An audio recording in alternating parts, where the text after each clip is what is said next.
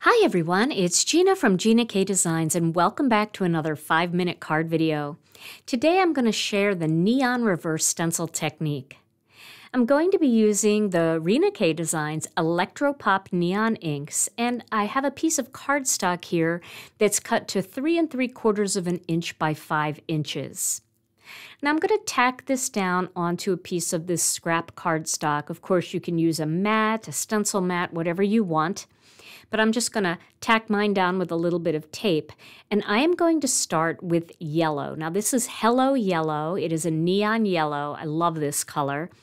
And I'm going to start right in the center of the cardstock and I'm just going to rub this direct to paper back and forth across the center.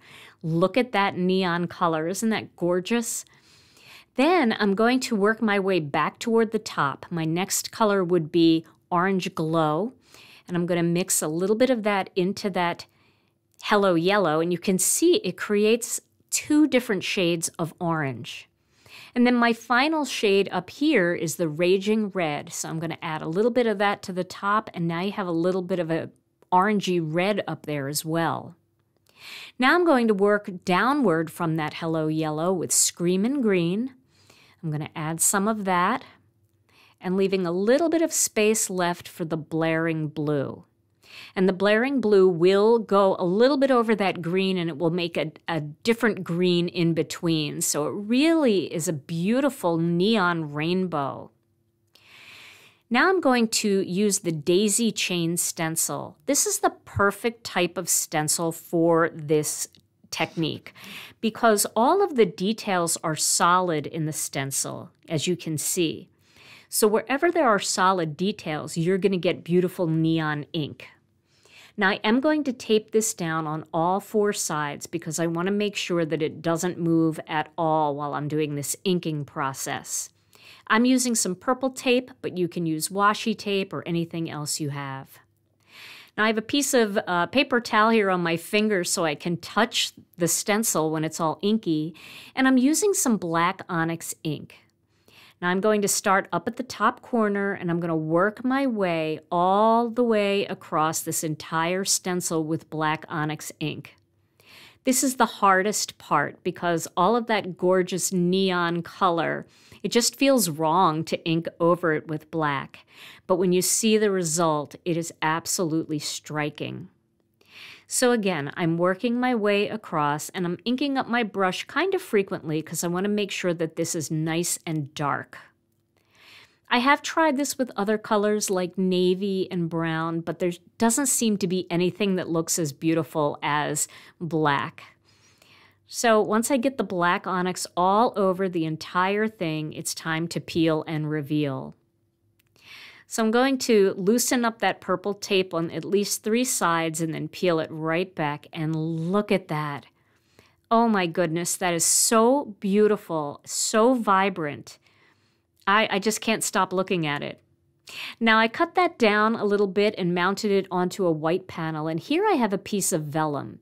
This vellum measures two inches by six inches. And I'm going to put a little tape on the back here and then I'm going to fold the vellum over the back. This is the easiest way to get a vellum strip across your card. Vellum always shows when you put tape on it, it just seems to show through. And by wrapping it around your card, it won't show through at all.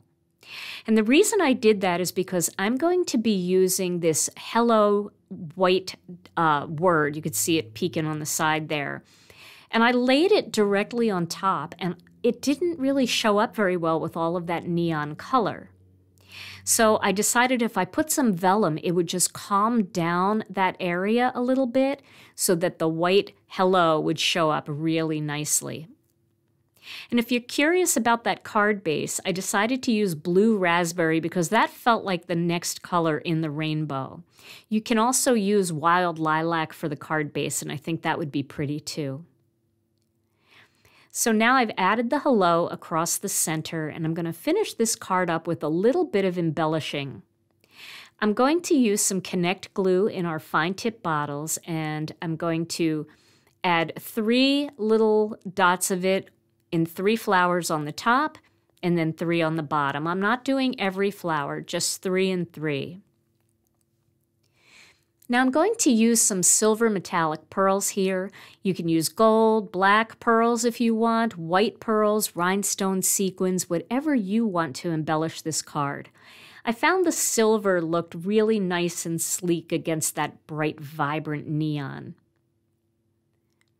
And these are so easy to apply right in the center of those flowers.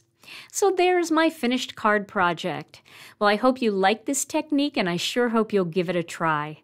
Stay tuned to my channel for more 5-minute card videos and more Stamp and Chat videos too. Thanks so much for watching and I'll see you again real soon.